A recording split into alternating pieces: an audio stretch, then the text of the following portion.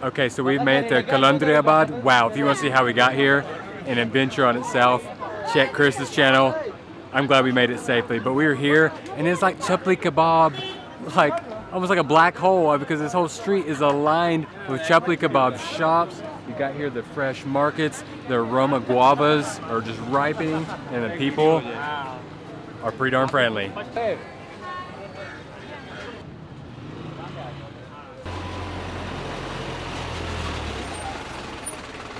All right, so I do believe we're at the oldest one. If you want to find it, it's like right across from the mosque up on the uphill somewhere around here.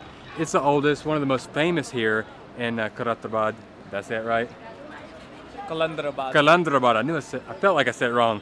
But it's closed today and tomorrow. Unfortunately, we don't have time to stick around. So we're going to go to what everybody's been coming around talking to us. We've been asking them, where should we eat? They sent us to another one, so we're going to head there right now.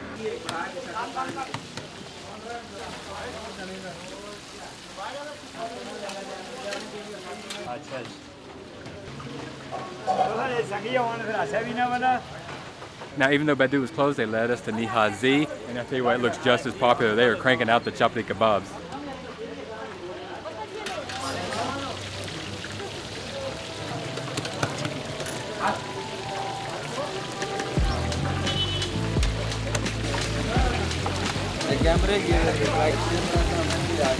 Dal bhai, yaar, ye rone samne churai.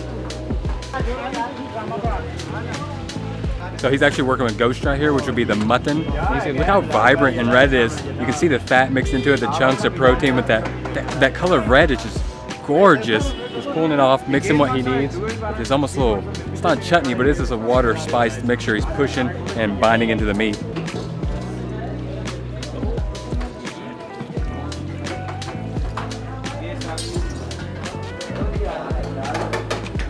And this, if you're gonna run chapli kebab, you gotta have a naan-shop in the house. That's like the rules here in Pakistan. And then they're doing a couple other dishes over here as well, over some high heat. I found you. Sorry. Chris is upset because they're trying to give us a police escort every city we go, and Chris loves his freedom. And we are back in a room, and it kind of echoes. It's small. Uh, it looks like they almost used to do the cooking back here. The way the, the walls are almost look like they got smoke damage to it. But we just got a couple chapli kebabs because we want to stay a little bit lighter on our stomach. We got a lot of traveling to do because Chris does not want this police escort. We got to move. we gotta get out of here. Sorry. So the cool thing is you can see all those spices in here. Look at that. I like that everything gets a bath in that animal fat. I'm gonna assume he's using the mutton for the fat as well to fry these up. So hot, but look at that tear. Looks just like a nice crispy little hamburger patty, doesn't it? But it's gonna be that flavorful and more. Break off a little piece of the chapli kebab and then into the chutney. You can see it looks almost like it's got green chili, tomato in that, a little acidic water. Cheers. Cheers.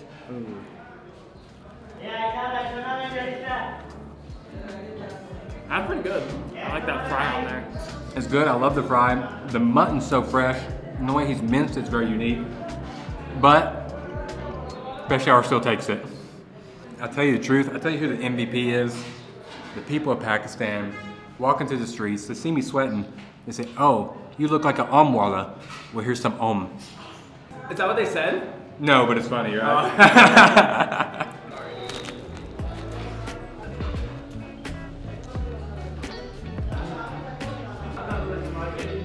if he's gonna give that green chili some love, I gotta do as well. Ooh, that's where I screwed up. You don't just want the chapli kebab. You gotta get those green chilies and tomato that have been in that oil as well.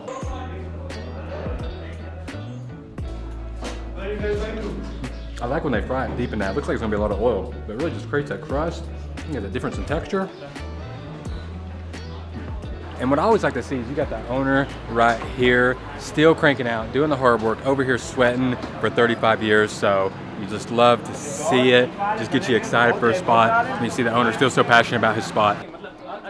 Yo, sorry, we had to sprint out of there, kind of get out of that uh, city, uh, grab a bus real quick. If you want to see what happened, head over to Chris's channel. But we are gonna keep it going. We're about to grab another little van and head to Muzaffarabad. We're in Mansehra right now, which is deep in KPK, but we're only here like two seconds because he's about to help us find our bus because there's a an abundance to pick from. Find buses anywhere in Pakistan.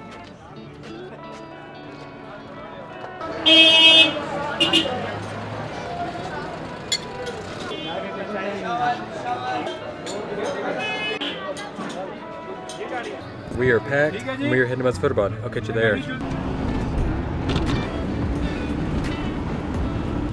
Okay,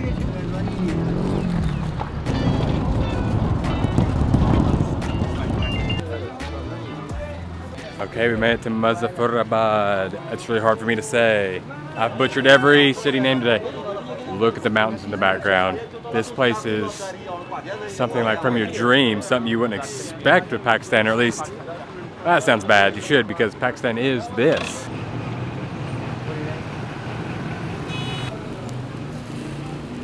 So sweet, we got checked in and everything. You want to see that video is on the second channel, I'll put a link here. But um, we didn't really know where to eat, haven't done really any research. We asked some people, they told us to go to Quetta House because we just wanted like a little chai and uh, but it was closed. So we just kind of followed the smoke. We saw this place looked popular, had smoke and a lot of lights. Decided to stop here and order a couple dishes.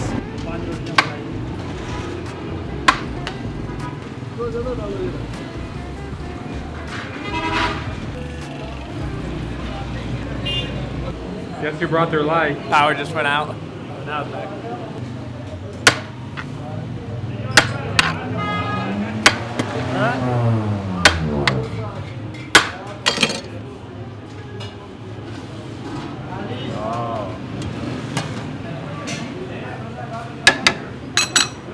Man, seeing that Kabuli pilau, I think we may have made a mistake. That looked awesome.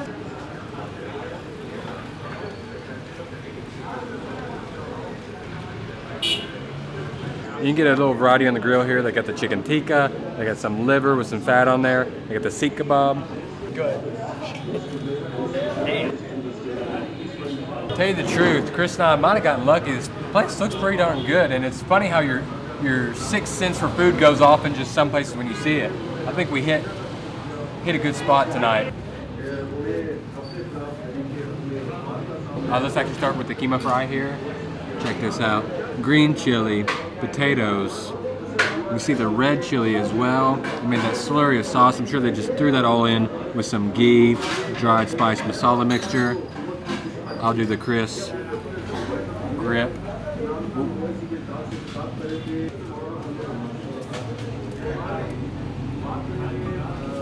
That's got like chili vibes to it. You get the ground mixed meat mixture. I don't really feel like it's it's mutton or anything like that because I don't have a real gamey feel to this. But then you get the potatoes, you get the spiciness, fills your mouth. On a cool night in the valley here in Muzaffarabad, it's perfect. Get the coriander in there too. That's, that's good. It's not so strong. I didn't think that the masala flavor is not crazy strong. That's that's not what I was expecting. Then Chris and I had to get a vegetable one. We haven't eaten a vegetable if it hasn't come in a curry, like or a dried spice, since we've been in Pakistan. I mean, the little salads on the side. That's about all we've had. And Chris and I felt like after a chapli kebab, we need a little vegetable, so we just got a little vegetable curry mixture one.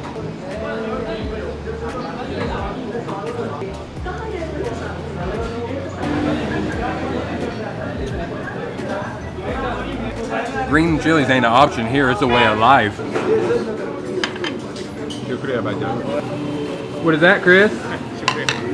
Uh, I forgot the name. Me too. It's a sweet. Like a biscuit. Wow. Uh, I'm really not sure how to do this, but nobody's staring at me like a crazy person. Kind of feels like a stale, dry flour biscuit.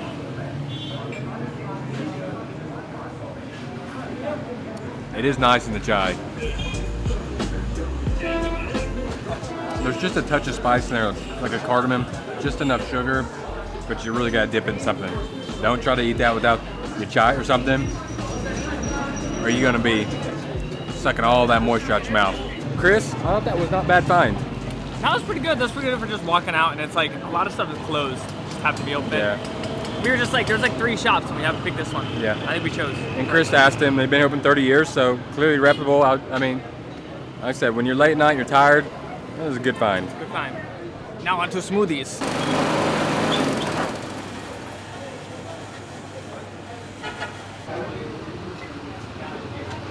Chris, uh, we're gonna do a smoothie, but then we had juices, and we were walking to the pharmacy to grab some stuff. Ice cream all the way. Yeah, ice cream machine. How are you supposed to walk past the ice cream machine when you finished all your main meals for the day? You can't. Look how good the picture looks. It's against the law. Ooh. Woohoo! Pakistani style. German style. Can we get another one? They're as big as your head. Yeah, get another one for me.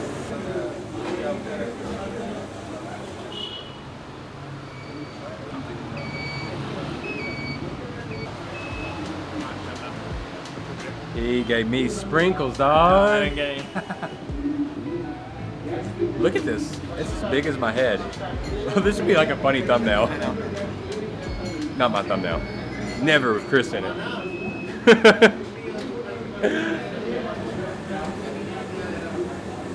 I'm not. I'm not vanilla. what is that? it's like Pakistani style. You like order. He's like, no, this. like vanilla. Pakistani style. I think he actually gave me the mango. Really? No. Vanilla. Why is it so yellow? Oh, it's a sprinkle. And not Ah, vanilla flavor. Yeah. But it still doesn't taste like vanilla. It's like It's a a- fruity vanilla. A fruity vanilla. Yeah, we're going to end that here. That was fun. Hope y'all enjoyed this crazy travel food day. Oh my gosh. Uh, we're going to move it on. Catch you at the next one. Peace. I love this.